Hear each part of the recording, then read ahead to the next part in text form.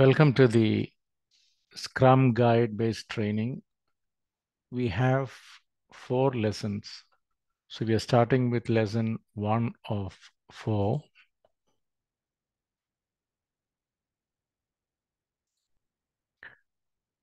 A brief introduction about myself. Uh, my name is Abrachan Puducherry. Uh, my colleagues call me AB. I'm highly experienced agile practitioner and coach uh, with uh, totally more than 30 plus years of uh, work experience. And out of that, 15 plus years I've spent uh, implementing agile, helping teams to transition from waterfalls to agile using Scrum. I work very closely with uh, startups, medium sized organizations, and very large organizations as well uh, in transitioning their teams from waterfall to agile. I'm the founder director of PMRI.in, that is Project Management Research Institute, and I am a contributor at uh, scrumlance.org, uh, which is an agile PMO that is resources for agile teams to succeed uh, in their agile way of working. Now, uh, while doing this course, uh, please note down all the key points highlighted as key points along with the key point number. So if you're intending to get a certificate at the end of the course, at the end of the course, there will be a small quiz or assessment where you are required to answer uh, questions uh, regarding these uh, key points along with the, the key point number. So while listening to me, please watch this video as a as a student, take notes, especially whenever a key point comes in. Please note down the key point number and the why and what is that key point uh, so that you can pass the exam very easily. But if you don't need uh, to pass the exam, still it will help if you can make some notes so that the knowledge gaining can be really assured. Uh, project management frameworks, basically we have two categories of project management that is predictive and the adaptive and agile. Now a new form has come in that is the hybrid project management where within a project itself, we do both the adaptive and uh, predictive. When we say predictive, uh, predominantly it is waterfall uh, and it is very generic in nature. When we say waterfall, maybe for example, I must complete the requirements gathering exercise first. The collector requirements must be approved. Then I must get into the scope definition. The scope must be approved. Then we get into detailed design and the design must be approved. Then only we get into uh, construction work followed by testing and commissioning and all those things. So that is waterfall. Waterfall can be applied for IT projects. Many projects are still using waterfall uh, and most of the construction projects, uh, like EPC, engineering, procurement, and construction, that still follows uh, waterfall or waterfall is the best for those kind of projects, which I which we'll explain in detail as we proceed. And then we have the adaptive and agile styles.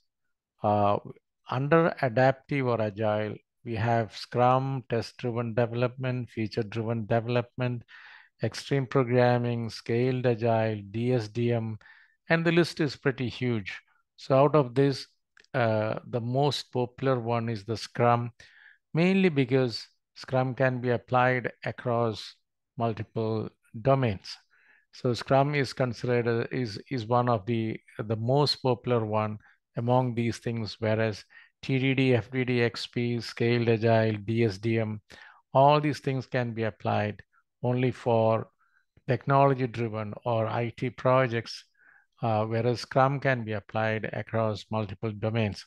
Personally, I worked, uh, I've helped teams, uh, I've helped work with marketing teams. I worked with uh, law, law firms, with banks, IT product companies, uh, telecom companies, banks. So uh, the Scrum has applications, you know, across a wide spectrum of domains. So that is the reason why it is more popular. So both waterfall and Scrum are very generic because they can be applied across uh, domains. Key point one, Scrum is a generic agile framework which can be applied to any domain.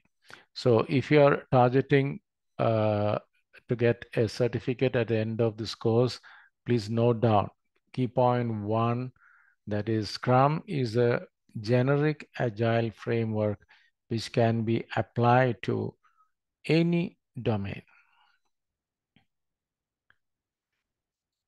So let us proceed. So here we have the waterfall as discussed, uh, requirements collection, then sign off, then we move on to design, sign off, then we move on to construction, then sign off, move on to testing, then sign off and commissioning, and then maybe end of life, uh, the, the scrapping of the product itself. Uh, all these waterfall models, they revolve around plan, do, check, and act. So whatever we want to do, we must plan first, then try to do things as per the plan. And uh, once in a while, you check to see whether things are going as per the plan or not. And if there is a variance, we take action. So all the waterfall models, it goes uh, with the PDCA, plan, do, check, act by uh, Deming. Here the problem is if the requirements related defect, if it is not captured during requirement phase, and if I am if I can finish it off in the requirement phase itself, it will cost me only one factor or one dollar. Uh, at the same requirements defect, if I want to fix in the design phase, it is going to cost me $10. But if it is corrected during construction, it is going to cost me $100 and testing phase it 1000 so this the cost of rework or the cost of fixing a defect this grows uh, exponentially. So that is a challenge with the waterfall models because incorporation of the change in a late in the project is very expensive. So that is one problem with waterfall. Then we have iterative and incremental approach everything revolves around an iteration. So before the iteration, we have a plan. And during the iteration, we do, do the work. And at the end of the iteration, we study and based on uh, the learning or the study, we take action. Uh, so this iterative and incremental projects, it, it keeps move, advancing in iterations at the end of every sorry. At the end of every iteration an increment of the product is built and this improves predictability and this reduces risk. Because at the end of every iteration uh, the key stakeholders are able to see the product and then uh, there can be a review there can be a retrospective at the end of each cycle so we are, these projects moves in 30 day iterations or 15 day iterations. So this gives more opportunities to analyze what all things we are doing correctly and what all things needs improvement.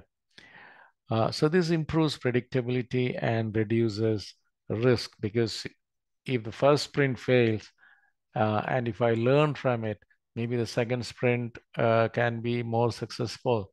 And similarly, as we advance in the iteration, at some point in time, uh, we will get very good, uh, uh, our predictability will improve and it will reduce the uh, risk, uh, both the functional risk as well as technology risk in the product. Here the key point number two, All agile frameworks are iterative and incremental in nature. Please note down key point two, all agile frameworks are iterative and incremental in nature. Then when to go for agile? The question is, should we follow agile in every project? The answer is no. So we can look at things from two parameters. Uh, one is the scope clarity and the other one is the familiarity with the technology. If the scope clarity is very high and if the familiarity with the technology is also very high, still we can go with waterfall because the amount of changes will be very less. At the same time, if the scope clarity is very low and the familiarity with the technology is also very low, then there is a lot of ambiguity in the project. So it is better to go with uh, agile because things will keep on changing. Then it is better to follow agile. So plus uh, one more factor is the, the ease of incorporating changes. So if you take a kind of civil construction project, sometimes it becomes very difficult to keep keep keep change, keep including changes, especially when the product is in a advanced state. So if the engineering discipline doesn't allow for change, it is still better to go with waterfall. But within uh, an EPC project, still till the engineering completion, design and engineering completion, still we can follow agile. But the moment you start pouring concrete, uh, it is very difficult to change things after that. So it is better to follow waterfall uh, when the project reaches the real construction phases. Whereas uh, any new development, new product development, uh, the scope clarity will be very low and the familiarity with the technology also can be very low because the team can be working on emerging technologies. In such cases, it is better to go with uh, agile project management. The key point number three, agile is more applicable for projects where the requirements are highly volatile or the requirements are changing rapidly. That is the key point number three. Please note down. Agile is more applicable for projects where requirements are volatile or requirements are rapidly changing. In such projects, Agile can deliver higher value or higher benefits.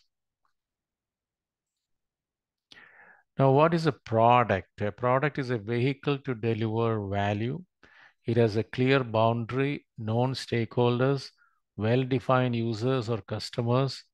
A product could be a service, a physical product, or something more abstract as well. Uh, it could be kind of uh, you know improving the quality of life of people or reducing traffic jam. So that is very abstract terms. Or it could be a service, or it could be a physical product uh, by itself. Now, uh, this diagram, we call it as the BCG matrix because it was uh, developed by uh, the Boston Consulting Group. Uh, so here, a product, every product starts as a question mark. That means when we start a product, we don't know whether it is going to be a successful or a failure. So we start playing with the proof of concept and stuff like that. So every product starts as a question mark. Then it moves into star category. That means it start bringing in some revenue. Then suddenly this can be an emerging product. So that becomes a star. And then from star, it can become a cash cow. That is, uh, that, that product brings in a lot of revenue. And after that, slowly the product will become a dog. So if you take Apple computers now, uh, maybe the Apple TV was there for a long time. Maybe Apple Watch, Apple Car is a question mark. Still, it is in a question mark state. Uh, whereas Apple Watch can be a star emerging. Uh, I, iPhone and iMac could be cash cows. And iPod is already, it has become a dog. because nobody, they are not promoting it, they are not investing on it, uh, and it is not available to buy as well. So uh, when products move from question mark to star, we can expect uh, a lot of requirements changes. And similarly, when a product is moving from stars to cash cow, requirements will change. And when it moves from cash cow to dog, the requirements can be very, very stable. So in a product, if the requirements are not changing, that itself is an indication that the product is reaching end of life. So thanks to Boston Consulting Group uh, for coming out with uh, these classifications. Now, what is Scrum? Scrum is the most popular framework among the agile frameworks like uh, XP, DSDM, test-driven development, feature-driven development, scaled agile, etc. It's developed by Ken Schwaber and uh, Jeff Sutherland early 1990s. So it is not something uh, very new. It was there from the year 1990. Now, because of the pandemic and stuff like that, people were forced to work from anywhere. So suddenly, these agile frameworks, you know, they they they became uh, very popular uh, because of this distributed work. Uh, here we have uh, Ken Schwaber and uh, Jeff Sutherland. Uh, the first version of the Scrum Guide was released in the year 2010. So this particular training, uh, we are basing it on the Scrum Guide uh, latest version. it can be, Scrum can be applied to various domains. Scrum is a very lightweight framework. And because it is light, there is nothing to customize there and it helps people, teams, and organizations generate value through adaptive solutions for complex problems. So very often people ask like things like, can Scrum be applied on big projects? That means a lot of people are working on it or very complex projects. The answer is yes, uh, because uh, people with 800 member teams and all uh, working on complex uh, work, uh, complex projects, Uh, they have successfully uh, implemented Scrum uh, and and delivered successful products. Now here the key point point for to be noted, Scrum can be applied for complex as well as simple projects. Point number four, Scrum can be applied for complex as well as simple projects. Now, let me give you a high-level overview of Scrum framework. So we have the product backlog, which is maintained by the product owner.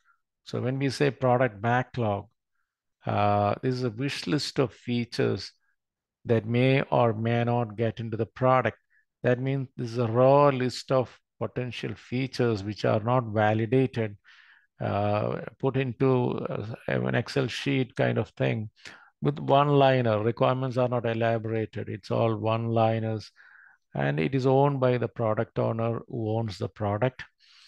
Then we get into a sprint planning meeting where the product owner prioritizes some requirements uh, and the product owner, scrum master, and the team member all together gets into a sprint planning meeting. And output of the sprint planning meeting is the sprint backlog, means uh, the features which they have agreed to uh, develop during the sprint. And the sprint is maximum a 30 day cycle. Uh, some teams run with 15 day cycles or 10 day cycles. So you can decide the duration of your sprints. And whatever you decided in the sprint backlog, you uh, the teams develop it.